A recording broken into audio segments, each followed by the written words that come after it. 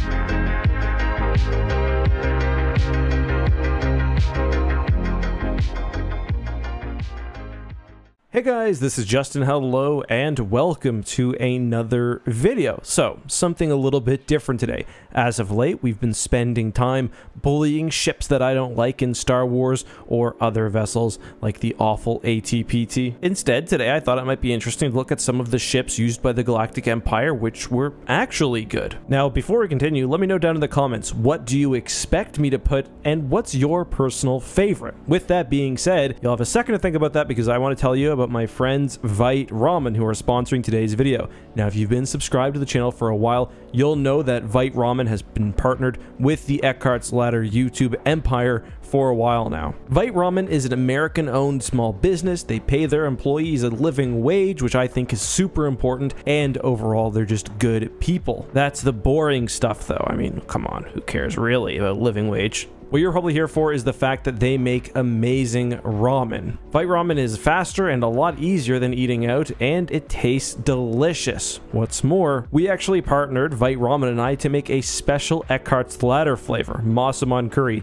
It's so good that right now it's totally sold out. I'll let you guys know when it's back. You really have to be quick because people love this thing. But in the meantime, I would personally really recommend the roasted soy chicken. It's delicious. And if you follow my link in the description, viteramen.com slash Eckhart's Ladder, you'll get 10% off your order, free shipping within the contiguous USA, and some free gifts. With that being said, let's get back to the topic. And just as a reminder, we're talking about the Empire's well-designed ships. I think there's a difference as well between well-designed and effective. Something like the Imperial-class Star Destroyer was incredibly effective because of its size and the lack, for a long time at least, of other ships which could really match its firepower. The Imperial Star Destroyer was certainly effective at spreading and enforcing Imperial power, and it worked well within the fleet, but I think that was overall due to Imperial naval doctrine as a whole, rather than any particular features of the ship other than its size. Let's compare that with the first Imperial ship that I think was overall very effective, the Lancer. Now, I've talked about before how I think the Lancer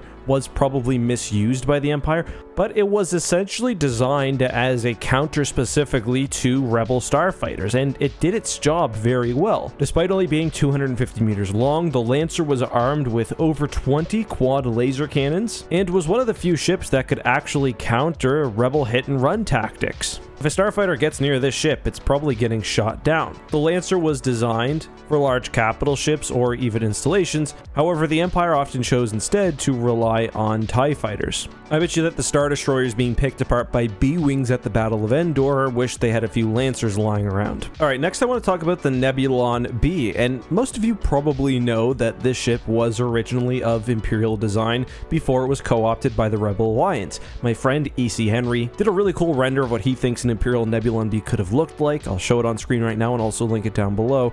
But all the lore seems to indicate that the Nebulon B, despite its appearance, wasn't actually stripped down of anything. That's simply how it looked. The praises of the Nebulon B are actually sung by the Essential Guide to Warfare, which says the EF-76, that's the name of the Nebulon B, was an ungainly combination of weapons, sensors, and tie racks that became the most effective light warship of recent centuries. The word ungainly there, by the way, is one of the things that indicates to me that the Imperial Nebulon B looked like the Rebel Nebulon B, but yeah, this was a brutally practical vessel, besides for at least the midsection where the ship can crack in half, but hopefully the shield will stay up all the time anyway. So why was it so effective? Well, despite its relatively low mass, and I guess its lesser intimidation factor when compared with other ships, the Nebulon B sported, as mentioned, advanced sensors, 12 turbo lasers, and also 12 point defense cannons, meaning that, in combination with other vessels, it could take on capital ships while also screening against starfighters. The TIE Fighter rack system also meant that it could carry a good amount of starfighters for its size, making it just an all-round effective vessel, especially against the Alliance. I mean, we've got a relatively small ship that can respond flexibly to anything its size or under, pretty much perfect on the front line or off. Ultimately, the Nebulon B would inspire other vessels, including the Corona-class frigate of the New Republic.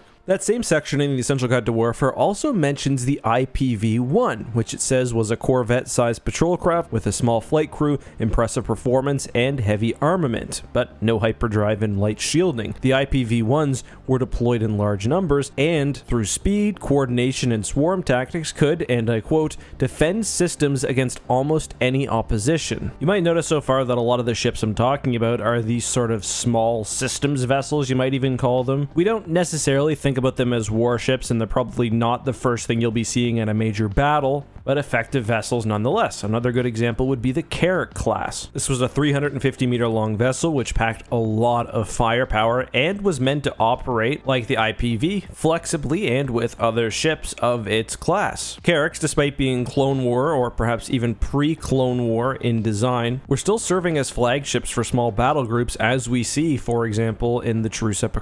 Another very practical ship which I quite like was the Strike Cruiser. This was another small ship that could actually be modified to fit different mission profiles. It was not the only modular Imperial capital ship. I mean, there was literally a modular task force cruiser, but in my opinion, it was the most prominent one. It just seems very practical for an empire which was at times spread thin and where single ships might need to take on different duties. So there are a couple more ships that I want to talk about, but I do just generally want to note that I'm mostly skipping the Star Destroyer-like vessels could talk about Venators. I could talk about Victory Star Destroyers. I could even talk about, for example, things like the Enforcer or the Interdictor, but those have been covered quite frequently on this channel and in other places, so I'll mention them here and leave it at that. The Victory, though, has got to be one of my overall favorites. The Interdictor Cruiser as well is so smart because it neutralizes the Rebels' main advantage, the fact that they get in, do damage, and jump away to hyperspace, but I mean, that's kind of the strength of the technology overall. The last ship I want to talk about is the Imperial Escort Carrier, and to be fair, I could swap this ship out, which I'll call the Ton Falk, or the Escort Carrier, with the Quasar class fire carrier, which essentially did the same thing. The Quasar class has been used more prominently in, for example, Star Wars Rebels and in Alphabet Squadron, but the principle is the same as the Ton in that it's essentially a flying hangar. I was doing some research for this, and according to Wikipedia, always a reliable source, of course, the Ton is the smallest ship which could carry a full wing of starfighters, i.e. 72 starfighters. I don't know where that citation comes from, but it sounds correct to me, and that's really the strength of the Ton Falk. It was, unlike many Imperial ships, purely utilitarian in purpose. It wasn't meant to be frightening or to take on a role as a capital ship killer despite its obviously other intended purpose. No, this was quite simply a flying hangar. I mean, the ship did have a few anti-starfighter lasers, so it could even contribute a bit when it came to capital ship screening, which, I mean, makes sense. You want your escort carrier to be close to your big ships, not just because the name sucks otherwise,